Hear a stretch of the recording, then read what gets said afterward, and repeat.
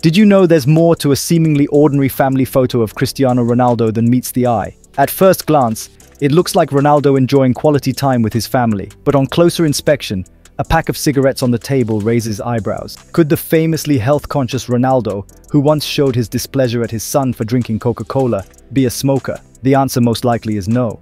Ronaldo is well known for his strict diet and fitness regime, making it highly improbable for him to indulge in smoking. The question then arises, whose cigarettes are they?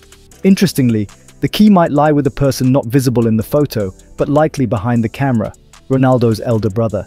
His life once riddled with drugs and alcohol, Ronaldo had helped him through these struggles, perhaps reminiscent of their father's untimely death at 52 due to alcohol-related issues.